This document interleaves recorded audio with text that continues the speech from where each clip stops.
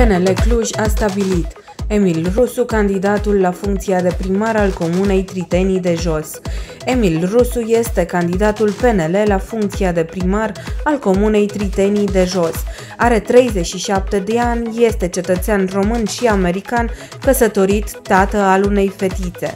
Deține studii în domeniul economic și este un antreprenor de succes în domeniul construcțiilor și întreținerilor clădirilor, a drumurilor și a spațiilor verzi.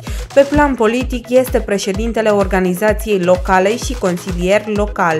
Este un tânăr implicat și apreciat în comunitate, care va schimba în bine fața comunei Tritenii de jos. Adiós.